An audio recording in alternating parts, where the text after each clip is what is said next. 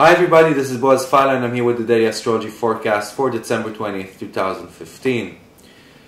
There's a lot of bubbly, fuzzy, fuzzy and bubbly energy in the skies today with the moon in Aries conjuncting Uranus, providing a lot of speed and providing a lot of innovative thoughts and, and really thinking outside the box. And we could really uh, be very efficient this morning, this Sunday morning.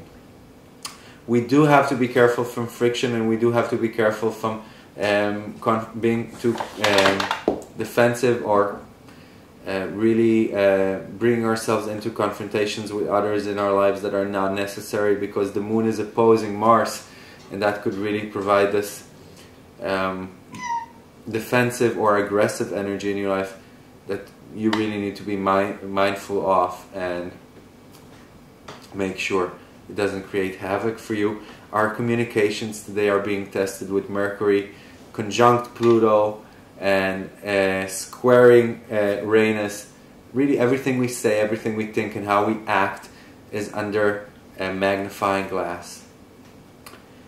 Um, but from the early afternoon Eastern Standard Time, let's say 1500 hours, and from the evening time in Europe, we are getting a much more positive, much more flowing energy with the moon trining uh, the sun. And this could be a great Sunday evening. So really go outside, be with people you love, enjoy that energy of the trine between the moon and the sun.